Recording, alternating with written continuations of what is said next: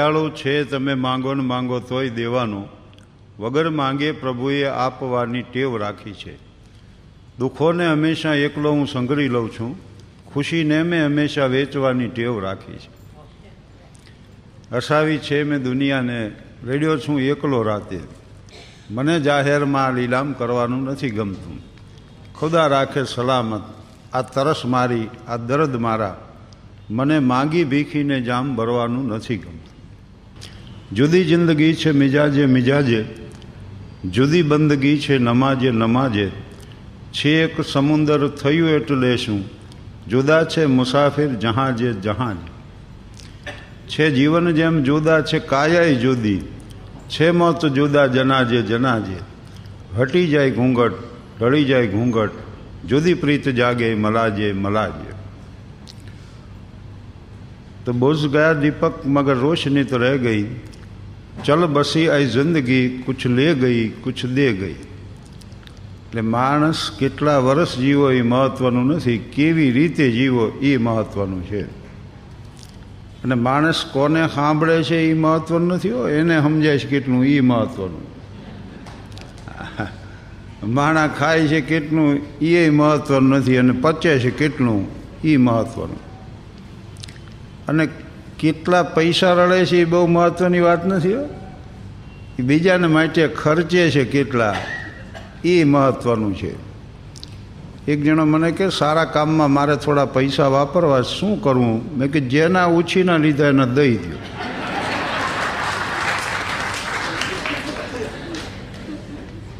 આ સારામાં સારું કામ છે. અને આમ જુઓ તો એ સાચું છે. પીપા પાપન કીજીએ પુણ્ય કિયાસો બાર જો કિસી સે ના લિયા તો દિયા સો બાર. ઘણા મને પૂછે સમાજ સેવા મારે કરવી, શું કરવું? હું એટલું જ કહું નડોમાં.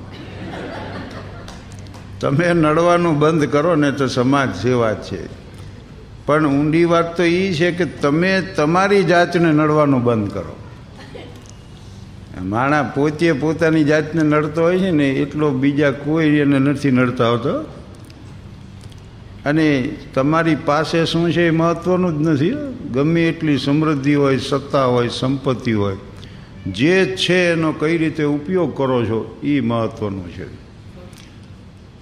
એટલે મહાત્મા ગાંધીજી કહેતા કે કુદરતે આપેલી શક્તિ સવારથી સાંજ સુધી કોઈ સારા કાર્યમાં ખર્ચી નાખો, નહીતર વધેલી શક્તિ તમારો વિનાશ કરશે.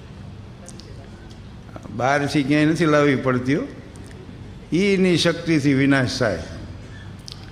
અને સ્વામીજી બહુ સારું કહેતા સ્વામી વિવેકાનંદ કે જીવનમાં જે ભૂલો તમે કરી એ જો ન કરી હોત, તો અત્યારે તમે જેવા છો એવા હોત ખરા? અને મોટા ભાગના માણસો કાં તો ભૂતકાળમાં કરેલી ભૂલો માટે પછતાતા હોય, કાં ભવિષ્યની ચિંતામાં હોય. આપણે વર્તમાનમાં બહુ ઓછા હોય છે.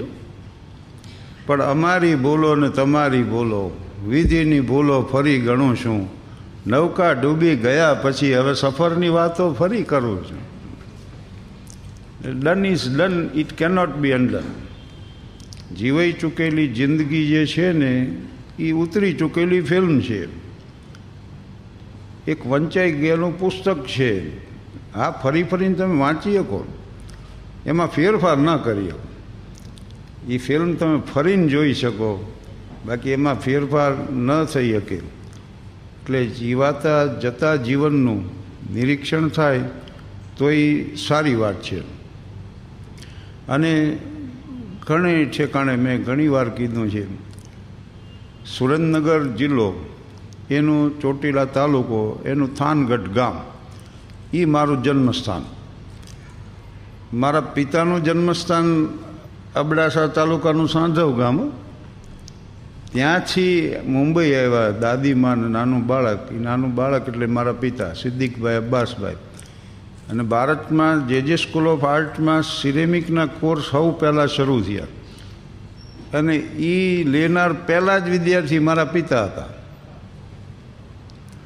સૌરાબ દલાલ નામના પારસી શેઠ એ થાનથી પસાર થતા હતા. અને કુંવરજી નામનો કુંભાર પાટીમાં લખવાની પેન અને ઓલી ભૂંગળી જે પીવે ને એ વેચતો. એમણે આ ખરીદી. પૂછ્યું કે ભાઈ આ કેમાંથી બનાવો છો? તો કે આ માટી. માટીનો નમૂનો લાવ્યા અહીં. લેબોરેટરીમાં ટેસ્ટ કરાવ્યો. બગા ગાળા બ્લેક અને નામ આપવામાં આવ્યું. અને એમણે નક્કી કર્યું કે થાનમાં સિરેમિકનો ઉદ્યોગ શરૂ કરવો. અને જે જે એક્સપર્ટો એને લીધા, એમાંના એક મારા પિતાએ હતા. એટલે ઓગણીસો ને તેરથી ચોત્રીસ સુધી સોરાબ દલાલ ટાઇલ્સ વર્ક્સ.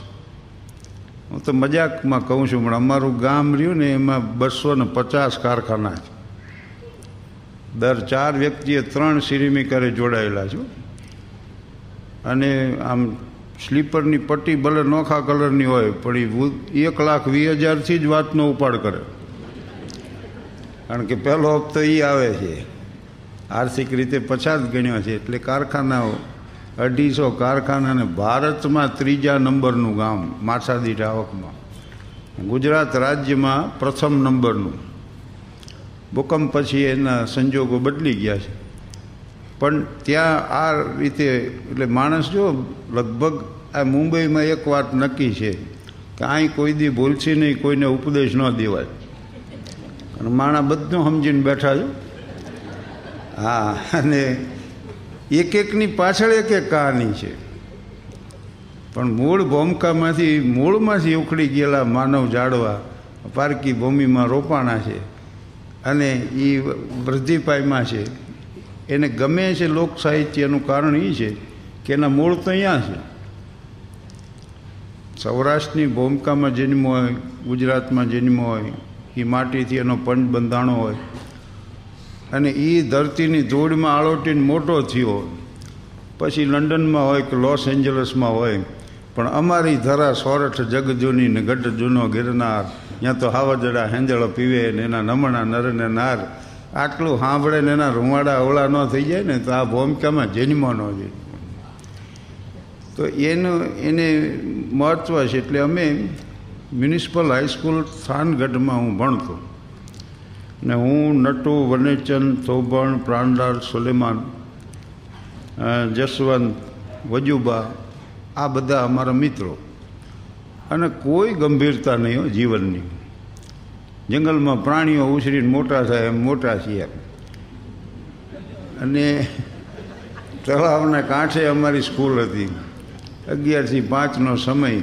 એ બપોરના તળાવમાં બે ધૂપકાઈ મારતા આવી નાતા આવી, ઘરે જમતા આવી અને પછી અમારે ઓજા સાહેબ ગણિત ભણાવતા કે તળાવમાંથી પવનની લહેરખી આવે અને એ સાહેબના અવાજને મારે અમુક વિદ્યાર્થીઓને ગમે એ મેળો પડ્યો હોય. પણ એ રકમ લખે ત્યાં મંડે માણા ઝોલા ખાવા. હ, વત્તા બ, વત્તા ક, કરે ત્યાં અમુકના નાકોરા મનના અવાજ મંડે આવવા આખી રકમ લખે ને, ત્યાં તો અમુક હોઈ ગયા હોય બોલો. એને ઉઠાડવા પડે કે લ્યા ઓ છે એમ. જિંદગી નહોતી ખબર, તું તો માત્ર છે ગણિત. એક પગલું ખોટું અને ખોટો આખો દાખલો. તો તે દી તો બસ ખાવું પીવું લહેર કરવી આટલી જ હતી જીવનની ફિલસૂફી. અને અમે ભણ્યા શીખ સુધી અમારા ગામમાં હતી ભણવાની સવલત. એટલે શીખ સુધી અમે જાણે ભણ્યા. અને પછી જુદા પડવાનો સમય આવ્યો. કૃષ્ણને સુદામો જુદા પડ્યા. તારો મને સાંભળ છે સતવારો. બાળપણાની ગોઠડી એ હવે ક્યારે આવશે મળવાનો વારો રે? તારો મને સાંભળ છે સથવારો અને ઓગણીસો ને ચોપનનું વરસ પરિણામ આપી દીધું. અમે બાર ગામ બધાએ નક્કી થઈ ગયું કે હવે તો આપણે મળવાના જ નથી. એટલે અમે છેલ્લી પાર્ટી કરીએ. રામનવમીનો દિવસ હતો. થાનથી બાંડિયા બેલી ગયા. એટલે સીધું સામાન આમ સાયકલે ટીંગાડીને લઈ જા તેલની બરણી હોય ને વળી બટેટા ડુંગળી ને એવું બધું, શાક બકાલું ને એ બધું. બે જણા પાસે સાયકલ હતી, થોભણ પાસે હતી અમારે સાયકલ. એને મેં કીધું એટલે પૈસા નહોતા ને ક્યાંથી લીધી? તો કે, હપ્તેથી લીધી. તો મેં કીધું, કેટલાનો હપ્તો બાંધ્યો? કે, ના, એમ નહીં. પેલું હેન્ડલ લીધું ને, પછી ટાયર લીધો ને. પછી ટ્યુબ લીધી ને, એમ ચેન કવર ને, એમ ધીરે ધીરે વસાવ્યું, એમ હપ્તેથી એમ કર્યું. અને પછી બાંડિયા પેલી અમે ગયા. ભાખરીને શાક ને દહીં ને દૂધ ને એવું સાદું ભોજન બનાવ્યું. બીજે દિવસે અમે લાડુ, દાળ, ભાત, શાકનું વિધિસરનું જમણવાર કર્યું. અને બધાએ મિત્રોએ નક્કી કર્યું કે દર રામનવમીએ આ સમયે આપણે ભેગા મળી જાઉં. તો મારે ત્યાં સાંજે બધા મિત્રો આવે. એ વખતે પહેલાં હાલીને જતા અને સાયકલ વારે લેતા સામાન માટે. અત્યારે થોડું અમારું આમ જીવન લક્ઝરિયસ થઈ ગયું છે, એટલે હવે ટ્રેક્ટરમાં જઈએ છીએ ટ્રેક્ટરમાં ગાડલા નાખી છીએ એના માથે બધા બેસી છીએ અને જઈએ છીએ પણ હું આ વાત એટલા માટે કરું છું કે ઓગણત્રીસની સાંજે અમે જઈશું ને એ એકાવનમું વર્ષ છે.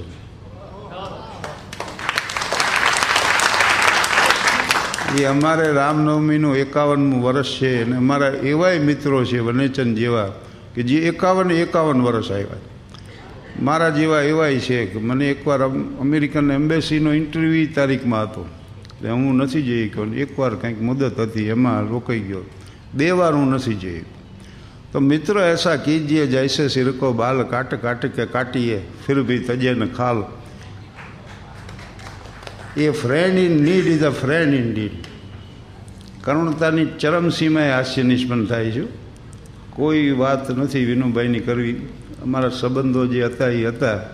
બે જ જણા અમે હતા. અને પચાસ હજારની ચોકડી વિનુભાઈ મૂકી સામે. મને કે આ લઈ જાઓ તમે. અને તમારું મકાન બનાવો.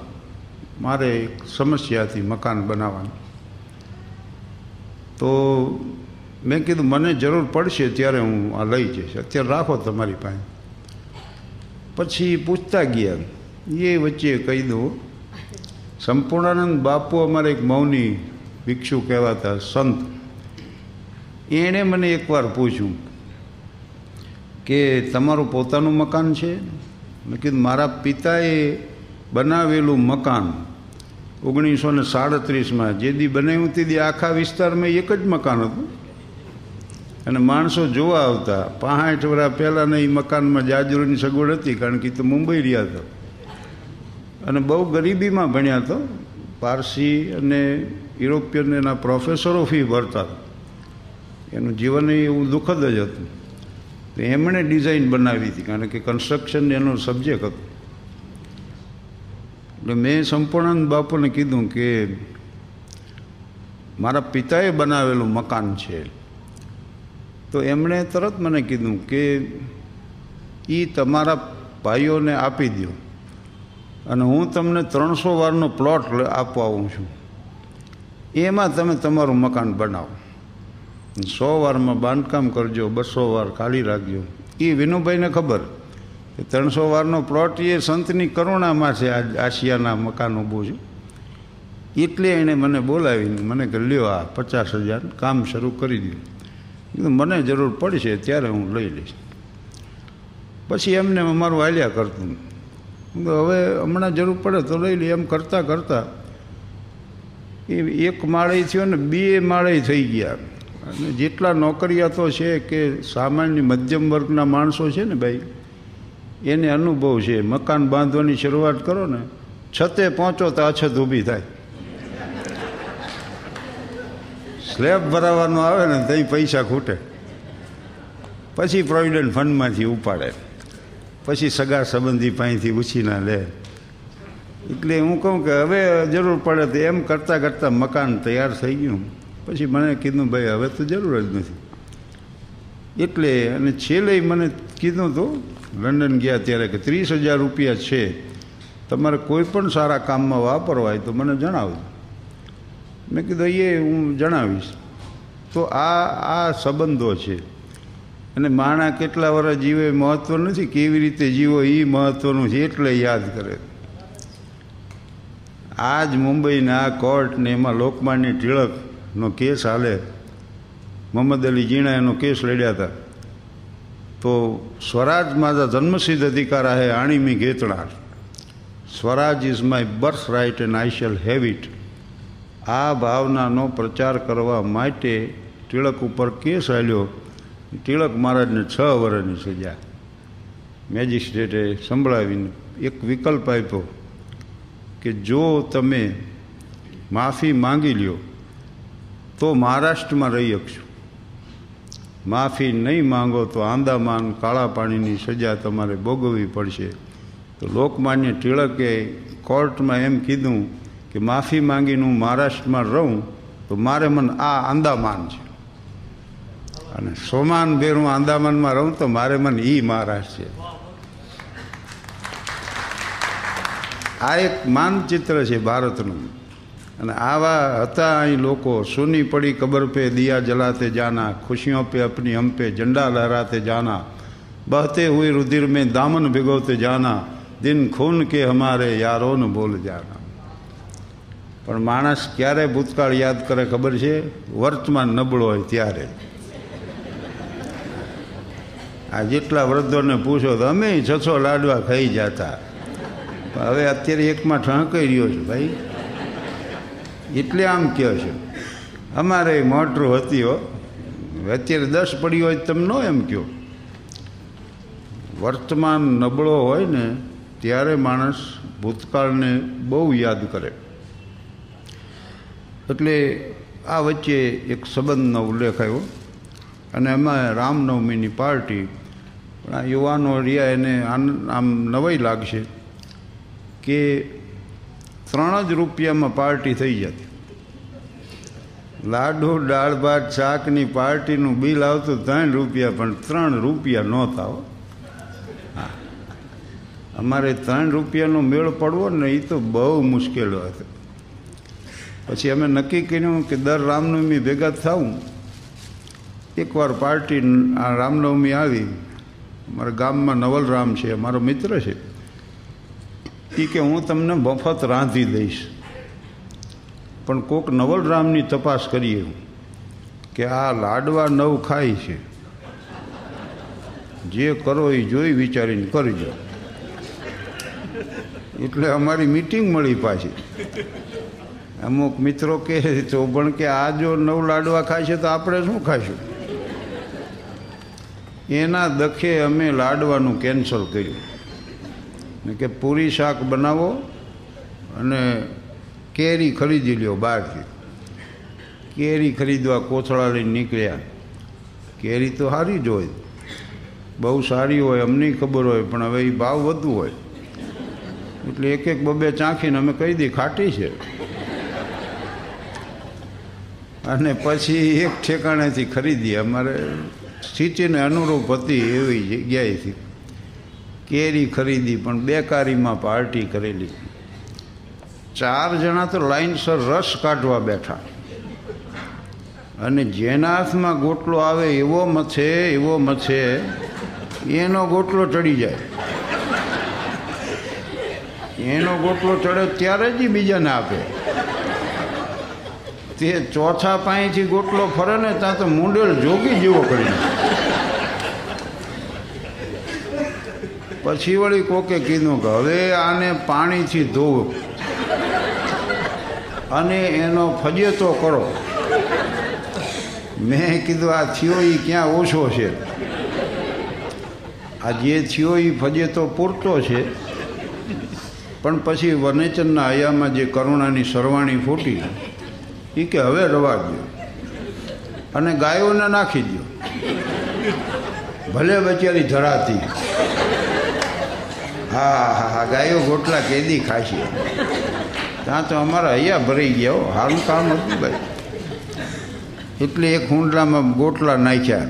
અને બધા વળી હાથ અડાડ્યા એક જ જણો ગોટલા ગાયું નાખ્યા હોય તો પૂન એના ખાતે જમા થાય. આ હવને હરખું પૂંજ મળે ને એટલે હાલ્યા આમ વાંચતે ગાતે જાય ને આમ ગાયું ભાઈ કર્યો, ઢગલો ગોટલાનો તે, ઊંઘી ઊંઘીને હાલતી થઈ ગઈ. ગાયું એ ગોટલા ન ખાતા બોલ. મેં કીધું, પણ આમાં કાંઈ રહેવા દીધું હોય તો ગાયું બિચારી શું કરે? પણ તમે એવું વાક્ય કોઈ દી સાંભળ્યો છે કે અમારો પાડો વગડામાં ચરતો આવ્યો અને ભેંસ આટું ભારો લેતો આવ્યો? પાડા પોચે જ ચરતા આવે. માણા પોચે રળે પોચે ખાય પોચે ખર્ચે. માત્ર પરિવાર પૂરતું. સમાજ માટે જો કાંઈ ન કરે, તો આ પશુ પ્રવૃત્તિ છે. યહી પશુ પ્રવૃત્તિ હે કે આપ આપ હી ચરે. वही मनुष्य है कि जो मनुष्य के लिए मरे तो विचार लो कि मृत्यु हो न मृत्यु से डरो कभी मरो परंतु यो मरो कि याद जो करे सभी हुई न सो मृत्यु तो व्रथा मरे व्रथा जिए वही मनुष्य है कि जो मनुष्य के लिए मरे એટલે ડેમન અને પિથિયાસ કૃષ્ણ અને સુદામા નિકોલસ અને બેક આ જગવિખ્યાત દાખલાઓ છે. જગતના માન મિત્રોના દાખલા છે. અને સુદામો ગયો કૃષ્ણ પાસે ચાલ્યો વાટમાં, જ્ઞાનના ઘાટમાં, મિત્ર મોહન તણું નામ લેતો કે મિત્રને મળીશ, રજૂઆત કરીશ, આમ એ બધું વિચારતો. ફટ્ટી ધોતી, તૂટી પગરિયા, ચલકે પાંવ થકે. કૃષ્ણા તોરે મંદિરો મેં દીપ જલે. આમ વિચારતો વિચારતો જે જાય છે. અને જીવનની અંગતમાં અંગત વાત જેને તમે કહી શકો ને, એનું નામ મિત્ર છે. તમારા વિશે બધું જાણતો હોવા છતાં મૈત્રી નિભાવે, એનું નામ મિત્ર છે. અને મિત્ર એસા કીજીએ ઢાલ સરીખા હોય. દુઃખ વખતે આગળ રહીને સુખમાં પાછળ હોય. એવો મિત્ર છે ને, એવો મિત્ર તમારો જીવનમાં કોઈ ન હોય કે તમે કોઈના આવા મિત્ર ન હો, તો જીવન વ્યર્થ છે ભાઈ. એટલે બુદ્ધે મૈત્રીને પ્રાધાન્ય આપ્યું. ભગવાન બુદ્ધે જે પ્રાધાન્ય આપ્યું ને મૈત્રીને આપ્યું છે એટલા માટે. બે મિત્રો હતા. એક મિત્ર બીજા મિત્રને ત્યાં ગયો. એટલે એના પત્નીએ કીધું, તમારા ભાઈ નથી કર્યા. પણ શું કામ છે એ કયો? તો કે મારે પાંચસો રૂપિયાની જરૂર હતી. એટલે એને પત્નીએ તરત આપી દીધા ગાલ્યો મિત્ર તો લઈને જતો રહ્યો. પછી આવ્યો, એનો ભાઈબંધ આવ્યો, ત્યારે એની પત્નીએ કીધું, તમારા મિત્ર આવ્યા હતા. એને પાંચસોની જરૂર હતી. મેં એને પાંચસો રૂપિયા આપી દીધા. તોય ઓલો રોવા માંડ્યો. અરે પણ કે મેં એને કીધું ને તરત જ આપી દીધા. પણ ઓણે એમ કીધું કે એને પાંચસો રૂપિયાની જરૂર હતી ને અહીં સુધી લેવા આવવું પડ્યું. ત્યાં સુધી મને ખબર ન રહી. આ જે પીડા છે ને એની છે, વ્યથા છે એની છે. હું ક્યાં કહું છું ના કહો. હું ક્યાં કહું છું હા કહો, પણ ના કહો એમાંય વ્યથા તો હોવી જોઈએ. અને એવી મૈત્રી નથી રહ્યો, જેના ખંભે માથા મૂકીને રોઈ શકાય ને એવા હવે ખંભા નથી રહ્યા. અને એ અજંપો આ પૂરી ખાય છે માણાને. ડોલરથી કે પૈસાથી કે સંપત્તિથી જિંદગી ન જીવાય. માનવીને માનવીની ઊંફ જીવાડી દે. એક અબજોપતિને ઊંઘ જ નહોતી આવતી. અને આમ ટેરેસ ઉપર આંટા માર્યા કરે. એમાં એણે જોયું તો એક સૂફી સંત હાથનું ઓશીકું કરીને ઘસઘસાટ હોઈ ગયા અને એટલી બધી નવાઈ લાગી કે આ હા હા આ રીતે માણસ સુઈ શકે નીચે આવ્યા અને મને ઉઠાડીને પૂછ્યું કે ऐसी गहरी नींद आप कैसे सो सकते हैं तो सूफिया तो એટલું જ કીધું કે आपको खुदा ने वह सोना दिया है तुमको यह सोना दिया आपको खुदा ने वह सोना दिया है तो हमको यह सोना दिया है बात सिर्फ सोने की है तो क्या आपका पता क्या है तो पता क्या खाक बतलाए निशा या बेनिशा अपना लगा बैठे जहां बिस्तर मकान तो बन गया आप આ બંધુ ત્રિપુટી એમાં સ્વામી આનંદજી હતા ને એની હારે બહુ બેસતો મેં ત્રણેય હારે બહુ સત્સંગ કર્યો થાન હતો એમનો ચતુર્માર્ગ અને ત્યાંય હું જીએવો તીથક તો એક મને એના કાવ્યો સંભળાવો જે કવિ હતા અને હું ઘણીવાર એનો ઉલ્લેખ કરતો. ન્યુયોર્કમાં અમારો કાર્યક્રમ હતો ને હું આ કાવ્ય બોલ્યો કે આમ જુઓ તો એકલ દોકલ, આમ જુઓ તો મેળા, આમ જુઓ તો આગળ પાછળ, આમ જુઓ તો ભેળા, આમ જુઓ તો સંત ધર્મના મરમ સુધી પહોંચેલા અને આમ જુઓ તો છીએ મુસાફર છેલા લઈ નીકળેલા. બની શીખ્યા નહીં ગુરુ કોઈના થઈ શીખ્યા નહીં ચેલા કેમ ગણીએ તમને છેલ્લા અને અમોને પહેલા પણ ભીતરમાં ભગવાન વસે તો બધા દાખલા સહેલા આ નથી કોઈની મોનોપોલી જે પહોંચે તે પહેલાં પણ ભીતરમાં ભગવાન વસે તો બધા દાખલા સહેલા પચાસ વિદ્યાર્થીનો વર્ગ હોય, શિક્ષક દાખલો ગણાવે.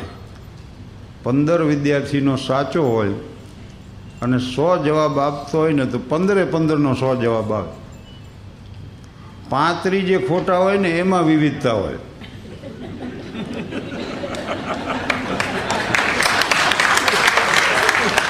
પાંત્રીસના જે ખોટા દાખલા હોય ને એમાં બાવીસ આવે નચોતેર આવે નેવાસી આવે ગમે આવે. તો આ વિવિધતા છે ને, ખોટાઓમાં છે. સત્ય તો એક જ ઠેકાણે લઈ જાય છે. સત્ય તો એક જ છે ને. એટલે કબીર સાહેબે કીધું છે કે કબીર કુવા એક હે પનિયારી અનેક.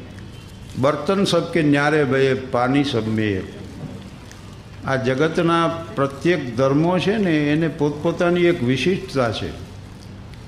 એમાં હિન્દુ ધર્મની આધ્યાત્મિકતા, ખ્રિસ્તી ધર્મની માનવતા, મુસ્લિમ ધર્મનો ભાઈચારો, જૈન ધર્મની અહિંસા, બૌદ્ધ ધર્મની કરુણા જરથ્રોસ્તી ધર્મની ન્યાયપ્રિયતા અને સ્વામિનારાયણ ધર્મની સર્વધર્મ સમન્વયની ભાવના. તો આ પ્રત્યેકની પોતપોતાની વિશિષ્ટતા છે ને એમના સ્થાપકો જે રહ્યા, એના એ ઉદાહરણો પાછા. તળેટીમાં ઊભેલા માણસો કાયમ ચર્ચા કરી કરી કરતા હોય, આ રસ્તો ખોટો છે ને આ ખોટો છે ને આ ખોટો છે ને, આ તો વળી હાવ વિરુદ્ધ દિશામાં છે. પણ કોક દી શિખર માથે ચડીને જુઓ ને, તે દી ખબર પડે કે બધા રસ્તા ઉપર આવે છે. શિખર માથે ચડીને જુઓ ને, ત્યારે ખબર પડે કે બધા રસ્તા ઉપર આવે છે. અને કબીર સાહેબની વાત આવી. અમારે એકવાર એવું થયું, કલાકાર મિત્રો બધા. હવે સવારમાં કંઈક આવું શૂટિંગ હતું, એક બપોરે વળી ટીવીના દૂરદર્શન માટેનો કાર્યક્રમ. વળી પાછો કંઈક બધું પતાવીને અમે આવ્યા સ્ટેશન. અને જે ટ્રેન મળી એમાં, મુંબઈ આવવા રવાના. મુંબઈ અમારે આવવાનું પાછું. પણ થાક્યા પછી જે હાલે છે ને, એને ઈશ્વર સહાય કરે. અમે તો એવા થાક્યા ઊભા રહેવાની તેવડ નંબરે બોલો. અને એમાં મુસાફરી પણ જોવાની અમને ઓળખી ગયા બધાનું હું બિકુદાન લાખાબેન પ્રાણબેન દિવાળીબેન, નાનજીભાઈ. કે તમારે સુવું છે? એટલે અહીં ડબ્બામાં ઊભા રહેવાની જગ્યા એમાં તમે હોવાની વાત કરો કે એ તમારે શું કામ છે? અમે કીધું તો ભાઈ બહુ સારું. હવે મારા એણે ગમે એ કર્યું. પણ પડતા આખડતા માણસો ડબ્બો છોડીને ભાઈ ગયા ખરેખર ડબ્બામાં જગ્યા થઈ ગઈ. અને અમે તો હોઈ ગયા. અરે, એ ભારે કામ થયું. પૂતા ભેગા તો ઘાસ ઘસાટ ઊંઘવા માંડ્યા. એમ મારી આંખ ખુલી ગઈ. ઉપલી સીટમાંથી એક સર્પ આમ મારા ઉપર જ બરાબર ચીંગાતો હું તો અવાચક થઈ ગયો. બોલી ન ગયો અવાજ નીકળે નહીં, કોઈ વાંચે નહીં. એમાં મેં રાડ પાડી તે એક જુવાન તરત ઊભો છે ને એના ફટ પકડી. અને કોથળીમાં નાખી દીધી. કોથળી આમ બંધ કરી દીધી. અરે મને કે એ તો એ પછી મને ખબર પડી કે આ સ્નેક ક્લબના સભ્યો બધા. અને એ સર્પના શોખીન પાળવાવાળા એ બધા જુવાની એક જ ઓલાના ઉદ્દેશ માટે જતા ક્યાંય. અને એણે આ કારહો કરેલો. મારે અમને કે જગ્યા જોઈ છે ને, બે ત્રણ ક્રિયા વહેતા. આખો ડબ્બો કરી દીધો, ખાલી બોલો. પછી અમે ઉતાર, પાછો હું તો હોઈ ગયો. સાડા સાત થયા મને થયું, હવે તો બોરીવલી વટી ગયા દાદરે આવી ગયો ને હાલો હાલો, તૈયારી કરો, મુંબઈ આવ્યો ખુશ થઈ ગયું. બહાર ડોકું કાઢ્યો ને, એકલો ડબ્બો જ પડેલો. એ ખાંધાવાળો અહીંયા હતો. મેં કીધું "એલા ભાઈ, આ બોરીવલી છે મુંબઈ અરે કે અમદાવાદ છે? મેં કીધું, શું વાત કરો છો? અમદાવાદ ન હોય કે તમારું ફરી ગયું છે. અમદાવાદ જ છે. પછી મેં કીધું, પણ અમદાવાદ કેવી રીતે હોય કે આ ડબ્બામાં સર્પ નીકળ્યા ને તે રેલવેવાળાએ કાઢી નાખ્યો? કે સાઇડિંગમાં કાઢી નાખ્યો. પછી અમને જેમ ભારે કર્યા તો મારા તો ઓલા પડતા આખડતા માણસો જતા ને ત્યારે મને વિચાર આવ્યો હતો કે ઓરન કો ડૂબત દેખ કે કબીરા હશે ને કોઈ. અપની નાવ મજદાર મેં. કોણ જાને ક્યાં હોય? પછી તમે નીકળ્યા બહાર. નહીં મુંબઈ ફોન તો પહેલાં કરવો કે ભાઈ આવું થયું છે? અમારો ડબ્બો નીકળી ગયો સાઇડિંગમાં અમે કેમ પહોંચી ત્યાં વળી અહીંથી સમાચાર આવ્યા કે ભાઈ અમે તમારો સંપર્ક કરવા ક્યારના મથી છીએ? અને તમે આ કાર્યક્રમ કેન્સલ કરવો પડ્યો. કાલે અઠ્યાવીસની મારી ખરેખર ફ્લાઇટ હતી મુંબઈથી રાજકોટની. પણ ડૉક્ટર એચ એલ ત્રિવેદી સાહેબનો ફોન આવ્યો. કિડની હોસ્પિટલમાં એને જીવન અર્પણ કર્યું સાહેબ્યો આ તમને ન ખ્યાલ હોય તો કહી દઉં. કેનેડાની ધીકતી કમાણી છોડી કેનેડામાં સાહેબનો બંગલો હતો ને, એમાં સો મોટા વૃક્ષો હતા. આવા વૈભવી જીવનનો ત્યાગ કરીને આવ્યા અમદાવાદ આવ્યા મુંબઈથી. અને કેનેડાથી મુંબઈથી ત્યાંથી અમદાવાદ આવી અને એણે જીવન અર્પણ કર્યું. બે કરોડના ખર્ચે કિડની હોસ્પિટલ બનાવી. સાહેબ કે તમે રાજકોટ જાઓ એના બદલે આવો અમદાવાદ. મને એને ટિકિટ મોકલી દીધી. હું નીકળવાનો હતો ત્યારે સાહેબનો ફોન આવ્યો કે અઠ્યાવી અનુકૂળ નથી, તમે એકત્રીસમી આવજો. તો એવું અમારે તો બને જ છે. પણ વાત એ છે, એટલે જ્યારે સાહેબને કાર્યક્રમોની જરૂર પડે, ત્યારે અમે એને આપવા બંધાયેલા છે. હું એક નહીં બધા ભીખુદાન છે, અભયસિંહ રાઠોડ છે, મારા મધુસૂદન વ્યાસ છે. કારણ કે એક સારું કાર્ય માણસ કરે છે. બને તો એને સહકાર આપવો. એ ન બને તો એની પ્રશંસા કરવી. અને એ ન બને તો ટીકા તો ન જ કરવી. કારણ કે જીસસ ક્રાઇસ્ટ એમ કહેતા હતા કે દીવાને ઉકરડા માથે મૂકીને એના ઉપર હુંડલો ન ઢાંકી દેવાય. એ જેટલી સારી વાતનો જેટલો વધુ પ્રચાર થાય ને એ વધુ સારું છે. અને તમે જોજો, સજ્જનો રહ્યા ને એ નિષ્ક્રિય હોય છે. દુર્જનો રહ્યા એ સક્રિય હોય. દુર્જનો હોય નિષ્ઠાવાનો એક બીડીનો બંધાણી હોય દહને કરી દે. એક અફીણનો બંધાણી, એક શરાબી હોય, એની સંખ્યા વધારતા જેવો. તમે સારું પુસ્તક વાંચ્યું હોય તો કયો નહીં બીજાને. ને તુલસી ઈસ સંસાર મેં પાખંડી કી માંગ, ગલી ગલી ગોરસ ફિરે, મદિરા બેઠી બિકાય. દૂધ, દહીં, છાશ, શેરીએ શેરીએ વેચવા જવું પડે. અને ઓલું તો લેવા જવું પડે. અને પીનારા પી પીને પછી એવી ડાઈ ડાઈ વાતો કરે. ભલે ગમે એટલો પીવો, પણ લિમિટમાં.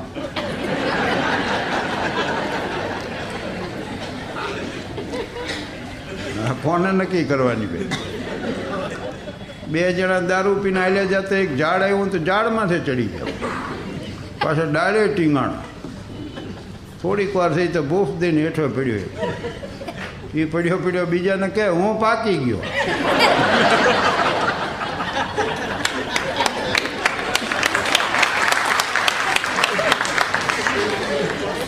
ઓલો વળી હમણાં હું પાકી જઈશ.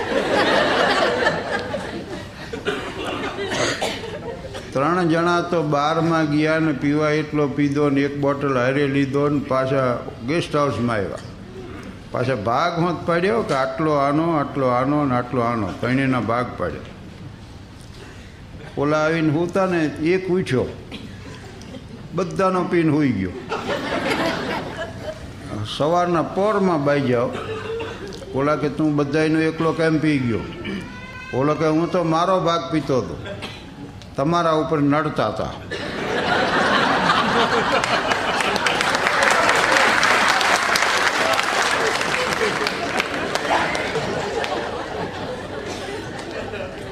પણ લાઓત છે એમ કહેતા હો.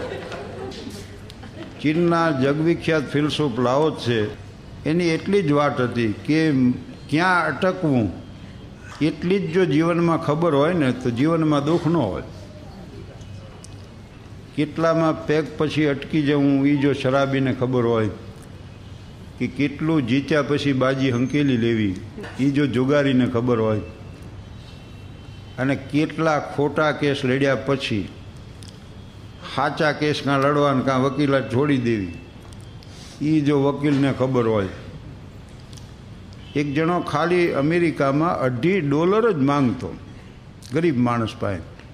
ઓલો અઢી ડોલર આપીએ કેમનો તો એ કે, દઈ દે પૈસા. ભાઈ, નથી મારી પાસે. તો હું કેસ કરું. વકીલ તરીકે લિંકનને રાખવા આવ્યા. અબ્રાહમ લિંકન કે ભાઈ શું છે તો કે અઢી ડોલર હાટું કેસ કરવો. ભલામણ અઢી ડોલર હાટું ગરીબ માણસને હેરાન કરાય. તો કે ના, બસ મારે દેખાડી દેવું તો લિંકને કીધું કે મારી ફી દસ ડોલર છે. તમારી ફી ગમે હોય. હું ફી પહેલાં લઉં છું એટલે ઓલે દસ ડોલર એને આપી દીધી. લિંકન સીધા ગરીબ માણસને ત્યાં પહોંચ્યા અને એને પાંચ ડોલર આપ્યા. હાલે અઢી ડોલર ઓને દઈ દેજે, અઢી ડોલર તું રાખજે. પાંચ ડોલર લિંકને રાખ્યા. ઓલો આવ્યો તો આણે પહેલી જ મુદ્દે અઢી ડોલર આપી દીધા. પણ આ સમસ્યા હલ કરી કહેવાય જો. લેણિયાતને અઢી ડોલર મળ્યા, ઓલા ગરીબને દેણું પતી ગયું ને પાછા અઢી ડોલર મળ્યા. અને લિંકનને પાંચ ડોલર મળ્યા. કારણ કે એને વકીલે આટલું તો કામ કર્યું. અમારે બે વકીલ કોર્ટમાં બાઈજા બોલો. એક કે તમે મૂર્ખ છો તો બીજા વળી તમે ગધેડા છો.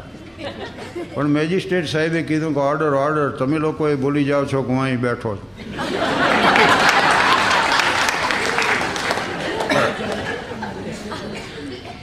અને આવો જ આપણા દેશનો કેસ. ગરીબ વિધવા હતી ને એના ઉપર કેસ કરવા માટે વકીલની તપાસ કરી. એટલે વકીલ સાહેબને કીધું કે તમે કેસ લડો તો કોના, કઈ જાતનો કેસ છે? તો કે એક વિધવામાં છે કેસ કરવો. એટલે એણે કહી દીધું, વિધવા ઉપર કેસ કરવા માટે હું વકીલાત નથી કરતો. આ વકીલનું નામ ડૉક્ટર રાજેન્દ્ર પ્રસાદજી, એ ભારતના રાષ્ટ્રપતિ થયા. ઓલા અમેરિકાના પ્રેસિડેન્ટ થયા.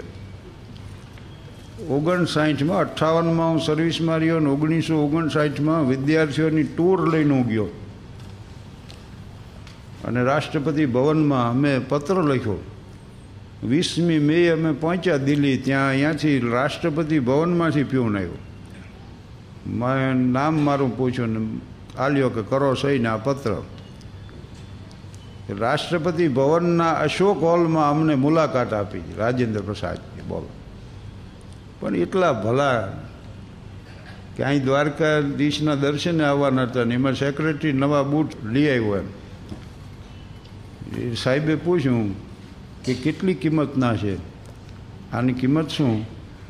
તો કે ત્રીસ રૂપિયા છે. એટલે રાજેન્દ્ર બાબુ કે ગરીબ દેશને આટલા મોંઘા બૂટ ન પહેરાય એના પ્રમુખને આવા કિંમતી બૂટ ન પોસાય.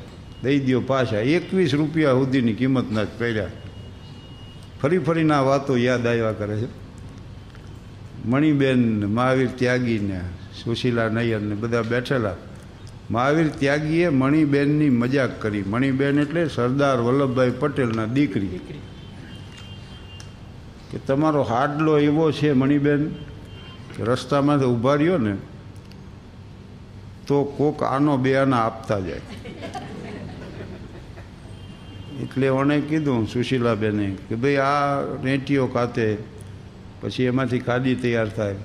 સરદાર સાહેબના જબ્બા, ધોતી એવું બધું થાય. ત્યારબાદ કે એમને જે એ ફાટે એના થીગડા આની સાડીને દેવાય. અને પાંચસો ને બાસઠ રાજ્યોનું વિલીનીકરણ કર્યું. સમ્રાટ અશોક કે અકબર કે સમુદ્રગુપ્ત કે ચંદ્રગુપ્ત. કોઈનું આવું વિસ્તૃત રાજ નહોતું સરદાર પટેલે જે સ્વતંત્ર ભારતનું નિર્માણ કર્યું ને અને સરદાર સાહેબે કીધું કે એનો બાપ કમાતો નથી. અને જેનો બાપ કમાતો ન હોય, એની દીકરી પાસે ક્યાંથી હોય સાડલાને આવા પહેરવાના પાર્લામેન્ટમાં જે ફોટો છે ને જે ખેસ એને રાખ્યો જબામાંથી એ પંદર વર્ષ જૂનો બોલ. સરદાર વલ્લભભાઈ પટેલ સ્મારક ભવનમાં જ મારે અહીંયા કાર્યક્રમ હતો.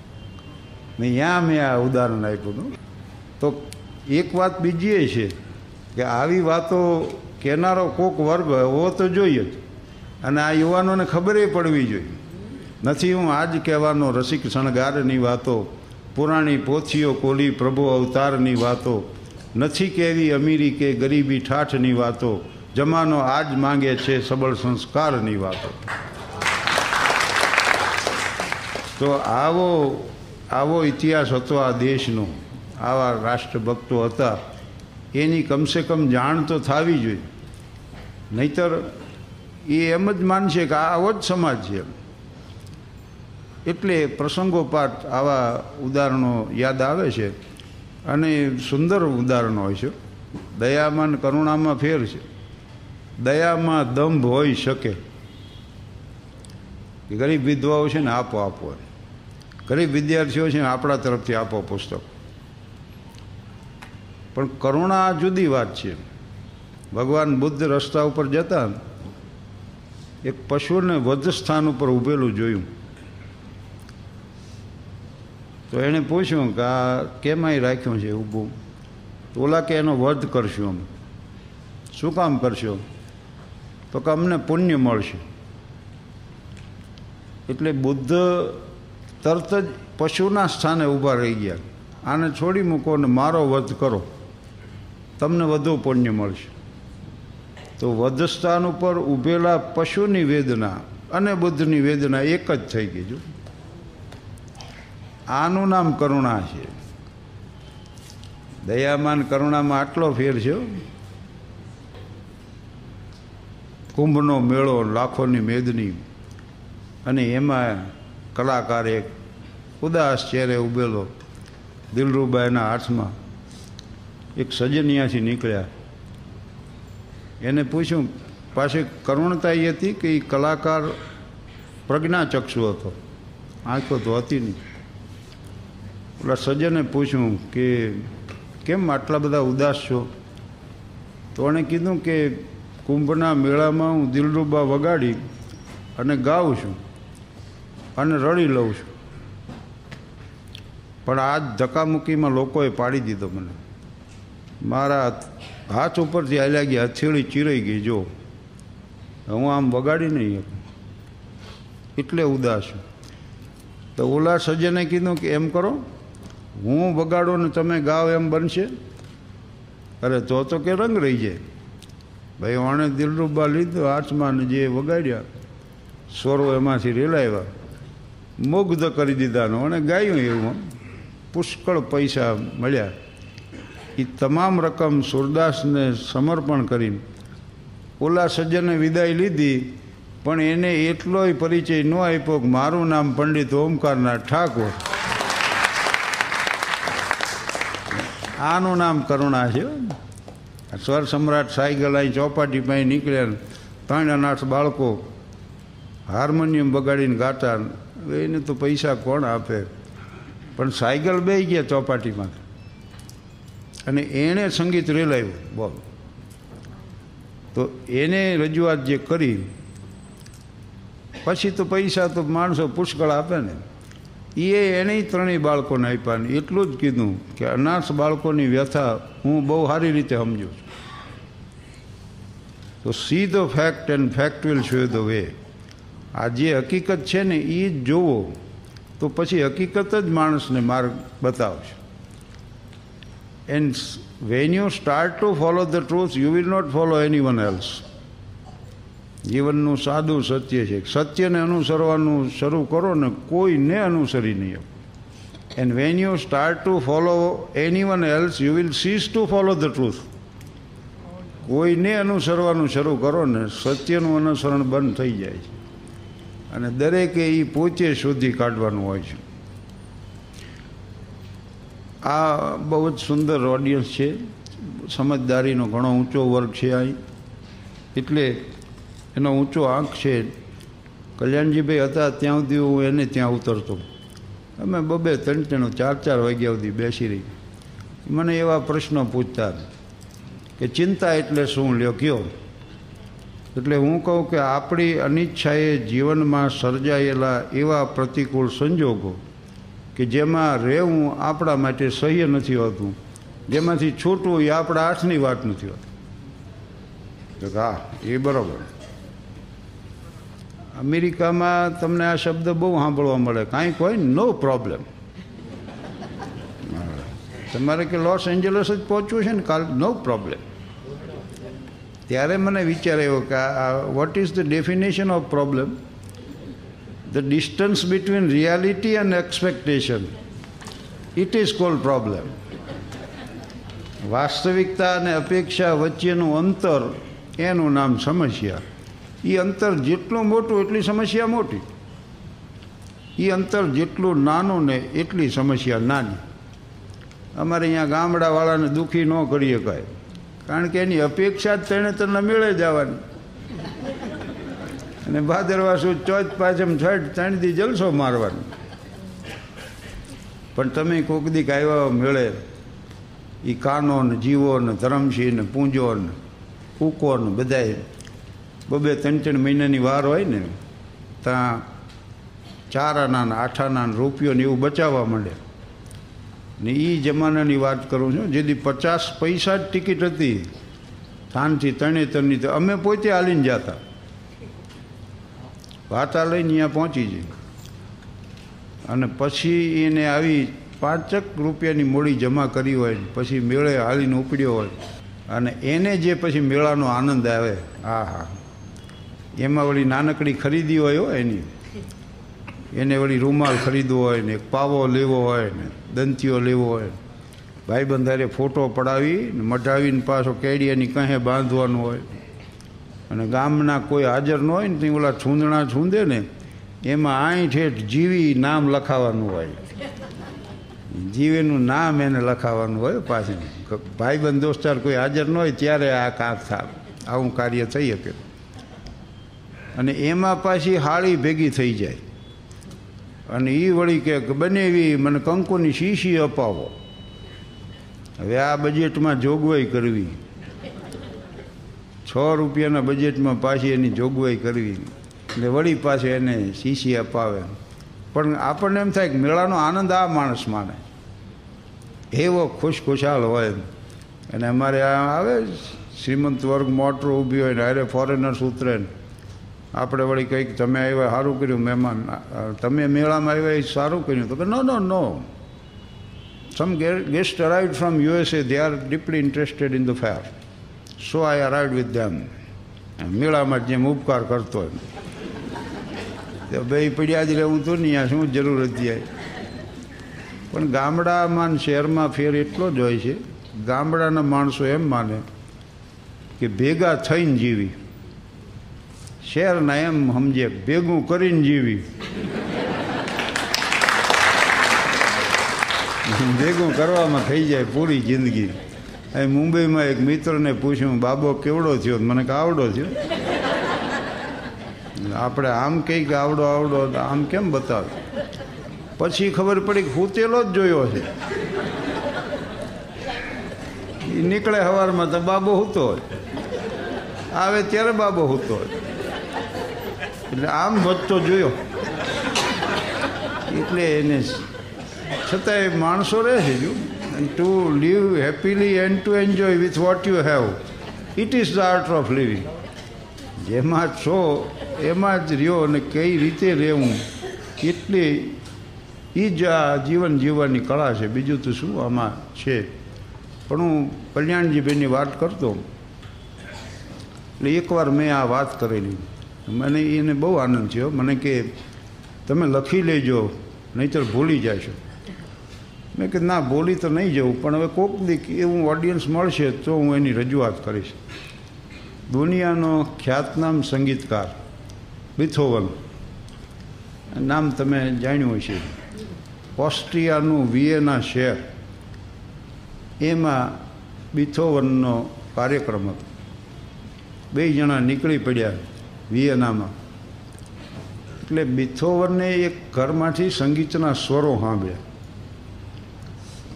તો એણે કીધું, કાલને આપણે જઈ એનો મિત્ર કે અજાણ્યું શહેર છે, આપણને ખબર નથી, આપણે ઓળખતાય નથી, કે એમાં શું હવે? આપણે કહીશું કે અમને સંગીતમાં રસ છે. એટલે બે દાખલ થયા. પણ આમ ઘરમાં દાખલ થતાં જ બિથોવને એક નજર કરીને એનું હૃદય ભરાઈ આવ્યું. ગરીબી આંટો લઈ ગયેલી. એક જેવા તેવા કોથળામાંથી છોકરો મોચી કામ કરતો બેઠો બેઠો. અને એક યુવતી હતી, દીકરી, આ છોકરાની બેન એ વાયોલિન વગાડતી બહુ.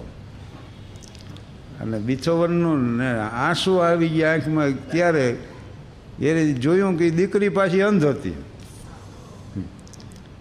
અને એ વાયોલિન જે વગાડતી ને એના ભાઈને એમ થઈ ગયું ગો હો આવા મોટા માણસો આવ્યા કોઈ એમ.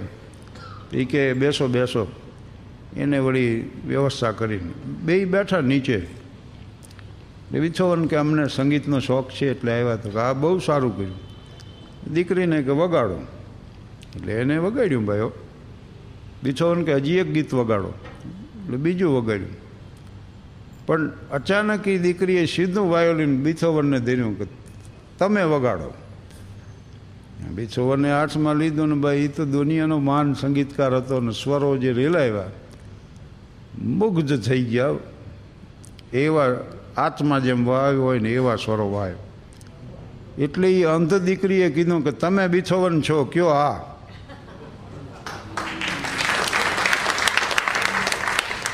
અને બિથોવને કીધું કે હા, હું જ બિથોવન છું. અને એનો એનો ભાઈ કે આ હા આઠ દીથી કે આ મને કે કે કરે છે કે બિથોવનના ઓપેરાની ટિકિટ લઈ આવીને હું એને સમજાવું છું કે આપણે આખી જિંદગી રડીને તોય આ ટિકિટ આપણે ન ખરીદી શકી પછી બિથોવને કીધું કે હવે તમને એ જરૂર નહીં પડે, હું અહીં આવી જઈશ. આ કરુણા છો પાછી, હું જે કહું છું. પછી દીકરીએ પાછું કીધું, હજી એક વગાડો. તો સાંજ પડી ગઈ, અંધારું થઈ ગયું.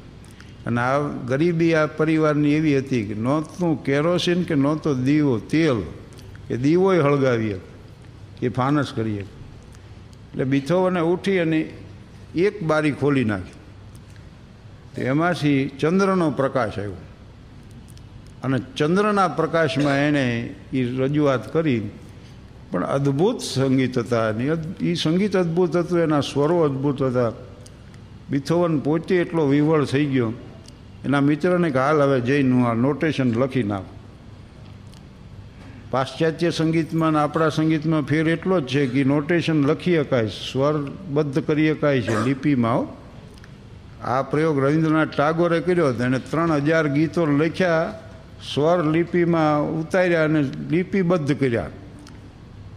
વેગાણી પોતે જે રીતે ગાતા હતા એ જ રીતે અત્યારે નહીં ગઈ શકાય કારણ કે આપણને સ્વરની નથી નોટ નોટેશન બિથોવરને લખી લીધા. એ મૂનલાઇટ સિમ્ફની તરીકે આખા દુનિયામાં પ્રસિદ્ધ થયા. આ મૂનલાઇટ સિમ્ફનીની રચના જે થઈ ને એ આમ થઈ છે અને એના પાયામાં આવી કરુણા પડી છે. કલ્યાણજીભાઈને ઉતરું તો ઓલા નાના બાળકો લિટલ વંડર્સના નાના નાના એને બધાની સામે બેહારે મને. પછી બાળકોને કહે કે તમે આને હ્યુમર ઉપર પ્રશ્ન પૂછો. અને મને એમ કહે કે તમે સંગીત ઉપર આમને પૂછો. નાના નાના કલાકારો, હવે સંગીતનો અમારો તો ક્યાં, મારો તો વિષય નહીં પાછો. મેં તો હાર્મોનિયમ લઈને એક દી તાણીને માલકોશ ગયો તો ત્રણ દી બંધ કોશ રહ્યો મેં નક્કી કર્યું કે આ કર્યા જેવું કામ નથી એમ. પણ તોય આ કલાકાર મિત્રોનો સંગ તો ખરો ને. યો રહીમ સુખ હોત હૈ ઉપકારી કે સંગ. બાટન વારે કે લગે જો મહેંદી કો રંગ. મહેંદી વેચતો હોય ને એના હાથ લાલ બની જાય. અત્તર વેચતો હોય પોચે ખુશબુદાર બની જાય. એટલે હું એને પૂછું કે ભાઈ કરુણ ભાવ રજૂ કરવો છે, તો તમે કયો રાગ પસંદ કરશો પણ નાના નાના કલાકારો કેવો? આહિર ભૈરવ, બીજી વળી કાલિંગડો, ભૈરવી પછી મને એ હાસ્ય ઉપર પૂછ્યું તો એક what do you think about humour humorist એવું મને પૂછ્યું. અને હ્યુમર વિશે પૂછ્યું. તો હ્યુમર વિશે મને કીધું, બાળકોએ કયો? તો મેં શરૂઆત જ કરી કે the sense of humour is the gift of God. હાસ્ય જે છે ને ઈશ્વર દત્ત છે it's a gift of God માલિકની મહેરબાની છે. ખુદાની દેન છે. પણ એક હાવ નાની બેબી હતી એના ઉંમર કરતાં એનું ડા પણ ઘણું વધુ હોય છે.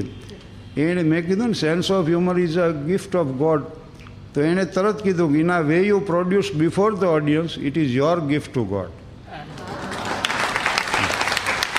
હું તો ખુશ થઈ ગયો. એટલે પછી મેં આખું વાક્ય એમ જ યાદ રાખી લીધું.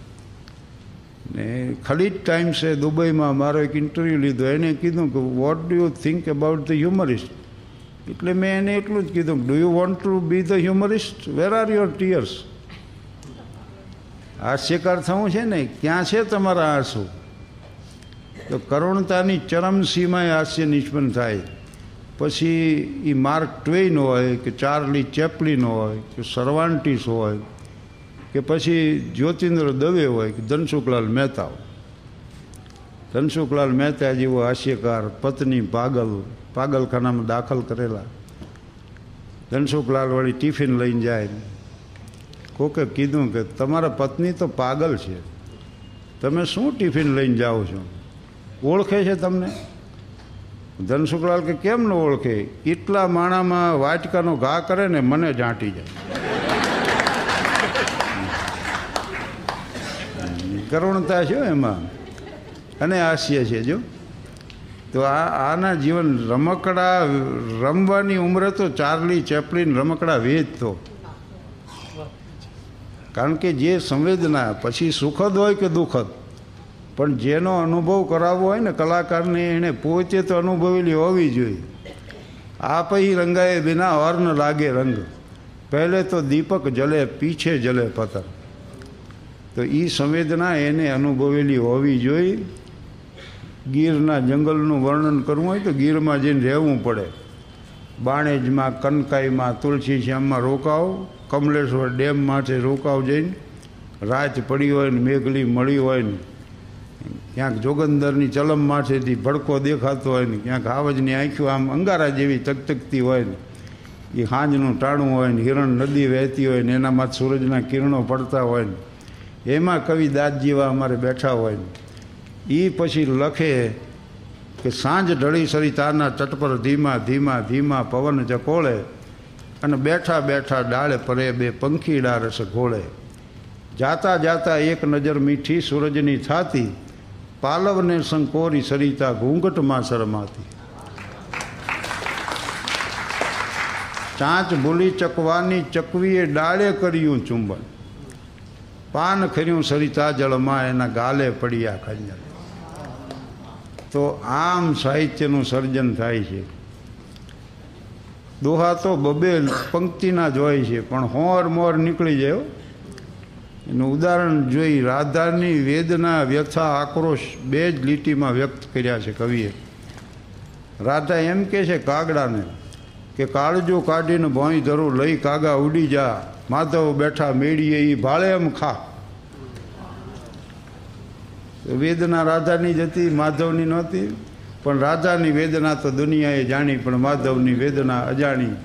હૈયાના ગોંખમાં હંગરીને રાખી, હોઠ પર કદીએ ન આણી. આ રાધાની વેદના તો દુનિયાએ જાણી. અને દ્વારિકાના સુવર્ણ મહાલય ને એનો ઝરૂખો ને એમાં કૃષ્ણ આમ એકવાર બહાર એને નજર કરી ગોમતી નદી દેખાણી. પણ જોઈ ગોમતીને યાદ જમના આવ્યો. અને એને થયું કે જો હું જ્યાં ગોમતી તો યાદ મને આવે ઓલા જમનાના નખરાળા નીર.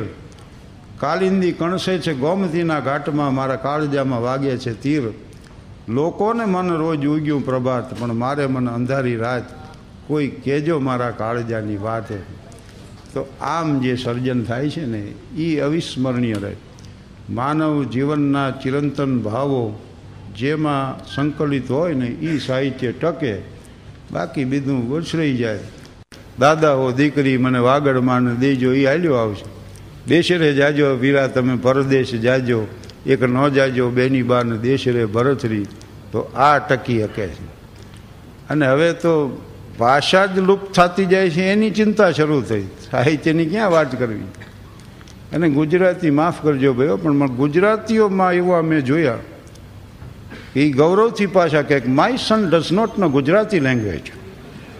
ત્યાં તો ઠરડા થઈ જાય પાછા, આવો.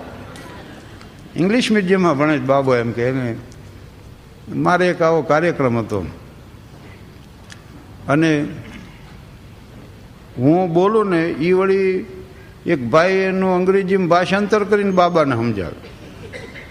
મને મીડ્યો વિક્ષેપ પડવા કીધું, ભાઈ આ રવા દો અને આ અમે બોલીએ એનું ભાષાંતર ન થાય મેં કે English is mighty language I can translate whatever you speak મેં કહ્યું લ્યો કરો. ગુડા હુદી કેશવાળી જાયદી ખજૂરની પેશી જેવો વાન આણો વળીને આવેલ વહુવારોએ હામ હામી લાજ કાઢી એવી કાન હોરી અને રમજમ રમજમ ઠમક દઈને કોઈક નટાવો પટમાં પડે એમ ઘોડો આવીને ઊભો રહ્યો. મને કે આનું ન થાય. મેં કીધું, ભાઈ, ન થાય. અમે એ કહી છીએ એમ. પણ